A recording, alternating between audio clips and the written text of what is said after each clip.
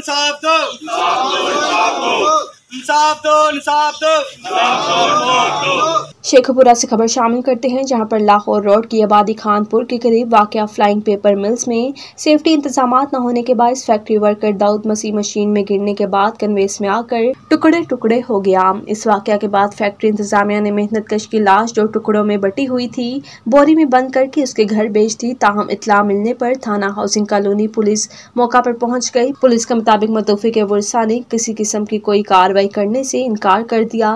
वाजिया रहे कि मस्कोरा फैक्ट्री में वर्करों की हिफाजत के लिए कोई हिफाजती इकदाम नहीं उठाए गए हैं फैक्ट्री वर्कर्स ने जिला इंतजामिया से मुतालबा किया है कि इस वाक़ की तहकीकात करवा कर गुफलत के मरतकब फैक्ट्री इंतजामिया के अफसरों के खिलाफ मुकदमा दर्ज करके कानूनी कार्रवाई की जाए ਤਕਰੀਬਨ ਰਾਤ ਦਾ ਵਾਕਿਆ ਪੇਸ਼ ਆਇਆ ਤੇ ਸਾਨੂੰ ਸਵੇਰ 7 ਵਜੇ ਫੋਨ ਆਇਆ ਤੇ ਅਸੀਂ ਆਪ ਆ ਕੇ ਕੱਢਿਆ ਰਾਤ ਦਾ ਕਨਵੇਅਰ ਵਿੱਚ ਆਇਆ ਸੀ ਟੋਟੇ ਟੋਟੇ ਹੋਏ ਸਨ ਤਲਵਾਰ ਸੰਗ ਪਿਆ ਸੀ ਕਿਸੇ ਨੇ ਨਹੀਂ ਚੁੱਕਿਆ ਹੈ ਅਸੀਂ ਆਪ ਆ ਕੇ ਆਪਣੇ ਭਰਾ ਨੂੰ ਇਕੱਠਾ ਕੀਤਾ ਤੇ ਨਾ ਕਿਸੇ ਨੇ ਸਾਰੇ ਫੈਕਟਰੀ ਮਾਲਕਾਂ ਨੇ ਰਾਬਤਾ ਕੀਤਾ, ਨਾ ਕਿਸੇ ਨੇ ਅਫਸਰ ਨੇ, ਨਾ ਹਲੇ ਤੱਕ ਉਹ ਪਹੁੰਚੇ ਹੀ ਹੈ। ਅਸੀਂ ਇੱਥੇ ਹੀ ਜ਼ਲੀਲ ਹੋ ਰਹੇ ਹਾਂ ਫੈਕਟਰੀ 'ਚ। ਜੀ, ਅਸੀਂ ਇਸ ਵਕਤ ਖਾਨਪੁਰ ਨਹਿਰ ਤੇ ਫਲੈਂਗ ਫੈਕਟਰੀ ਦੇ ਵਿੱਚ ਹੀ ਖਲੋਤੇ ਹਾਂ। ਸਾਡਾ ਭਾਈ ਰਾਤ ਇੱਥੇ ਡਿਊਟੀ ਤੇ ਆਇਆ ਤੇ ਰਾਤ ਪਤਾ ਨਹੀਂ ਕਿਸ ਵਕਤ ਉਹਦੇ ਨਾਲ ਵਾਕਿਆ ਹੋ ਗਿਆ। ਤੇ ਉਹ ਇੱਥੇ ਕਨਵੇਅਰ ਦੇ ਵਿੱਚ ਫਸਿਆ ਸੀ। ਸਵੇਰ ਸਾਨੂੰ 7 ਵਜੇ ਫੋਨ ਗਿਆ ਤੇ ਅਸੀਂ ਜਾ ਕੇ ਤੇ ਉਹਨੂੰ ਕੱਢਿਆ, ਆਪਣੇ ਹੱਥਾਂ ਨਾਲ ਆਣ ਕੇ। ਆ ਵੇਖ ਲਓ, ਅਜੇ ਵੀ ਸਾਡੇ ਕੱਪੜਿਆਂ ਤੇ ਖੂਨ ਲੱਗਾ ਹੈ।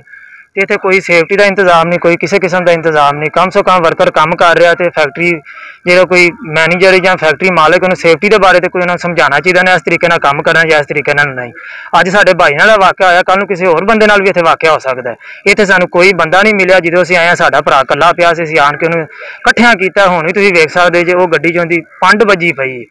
ਉਹਦਾ ਕੀ ਹਾਲ ਹੋ ਗਿਆ? ਸਾਨੂੰ ਇਨਸਾਫ ਚਾਹੀਦਾ ਜਿਸ ਤਰੀਕੇ ਵੀ ਮਿਲ ਸਕੇ। ਆਇੰਦਾ ਕਿਸੇ ਭੈਣ ਭਰਾ ਨਾਲ ਜਿਹੜਾ ਨਾ ਇੰਜ ਦਾ ਕੋਈ ਵਾਕਿਆ ਨਾ ਪੇਸ਼ ਆਵੇ। ਸਾਡੀ ਵਜ਼ੀਰੇ ਵਾਲਾ ਪੰਜਾਬ ਨਾਲ ਦਰਖਾਸਤ ਹੈ ਤੇ ਸਾਡੀ ਇਸ ਅਰਜ਼ੀ ਨੂੰ ਕਬੂਲ ਕੀਤਾ ਜਾਏ।